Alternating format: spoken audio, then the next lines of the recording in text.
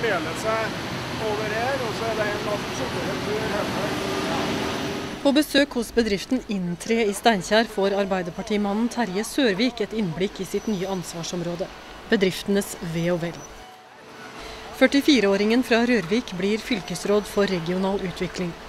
Nei, først og fremst så er det jo næringspolitikk. Det er jo alt fra jordbruk, skogbruk, fiske, industri. Så all type næringsliv i Nord-Trøndelag. Så du skal jobbe med å gjøre det enklere for næringslivet. Hvordan griper du den jobben fatt? Vi skal være med å legge til rette for at vi har et konkurransedyktig og, og slagkraftig næringsliv i Nord-Trøndelag. Ut ifra rammebetingelser som vi kan være med å, å bidra på. Hvordan gjør du det, da? Ja, Det er spennende. Men det, tilretteleggerfunksjonen den, den har jo veldig mange eh, faser og fasetter i seg. Men, men mer dialog, partnerskap med næringsliv og kommunene er viktig. De forskjellige regionene. Og jeg kommer til å ferde rundt og, og besøke veldig mange bedrifter. spesielt kanskje innenfor skogbruk. Da. Vi vet skogbruk representerer 40 av eksportverdien i, i fylket vårt. Så det er klart det er en stor og viktig næring for Nord-Trøndelag. Hva driver du med når du ikke er politiker?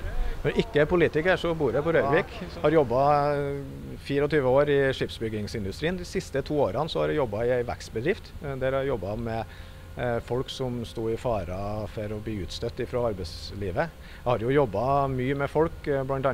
har jeg jo vært personalleder på Moen Slip. Ellers da så har man jo litt hobbyer. Politikk har jo vært hobby, nå er jo ikke det lenger. Men ellers så er man jo litt aktivt i, i idrettsliv og sånne ting, som trener og, og leder. Har familie, ja. Samboer og to døtre. Nå har vi beveget oss et stykke og står i Veidemannrommet på Steinkjer rådhus. Kultur blir det andre av dine ansvarsområder de neste fire årene. Hva har du å bidra med der? Nei, Jeg skal jo bidra på den måten at vi skal legge politikken til, til rette for at vi skal ha et godt og, og slagkraftig kulturliv i Nord-Trøndelag. Både det utøvende delen av det, men òg ikke minst for nordtrønderen som skal oppleve det breie og gode kulturtilbudet som vi har i Nord-Trøndelag. Hvordan opplever du det slik det fungerer i dag? Jeg syns vi har jobba godt med kultur.